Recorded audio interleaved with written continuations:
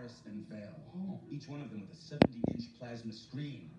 So I suggest you wipe that stupid smile off your face before I come over there and smack it off. You feeling strong, my friend? Call me Elf one more time.